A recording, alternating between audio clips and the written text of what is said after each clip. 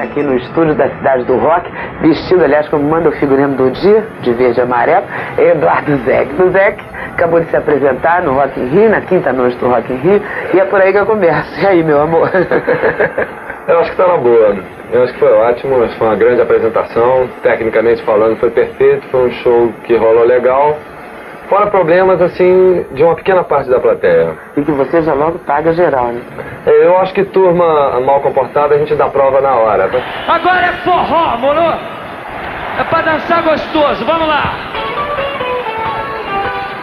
Deu uma grande prova, briga lá. O que prova que o Zé tava muita vontade, porque ele faz isso no palco em todos os shows, né? Se não se comportarem bem, acho, é. eu acho que há uma troca entre o artista e a plateia e essa troca tem que existir como qualquer relação humana, né? Se você busca uma coisa e a, e a pessoa não responde, você é o primeiro a colocar aquilo que você acha. Isso é necessário, eu acho saudável e eu acho que por isso foi uma apresentação saudável. E tem outra, né, sexta-feira? Tem outra sexta-feira, essa já vai ser melhor já é um público mais relax. Você tem essa expectativa, essa intuição? O que, que é isso? Eu sinto, eu sinto. É um público mais relax, um público mais bem dividido. Eu acho que hoje houve um pequeno problema de divisões, assim, eu não, não tenho exatamente a ver com heavy metal, mas embora tenha a ver, por, por isso boa parte do público gostou muito do show, mas eu acho que na sexta-feira vai rolar melhor. Eu não sei não, até pode ser pretensão e pode ser equívoco também. Mas eu não sei, fazer um show dia 15 de janeiro, num dia 15 de janeiro como o de hoje, né?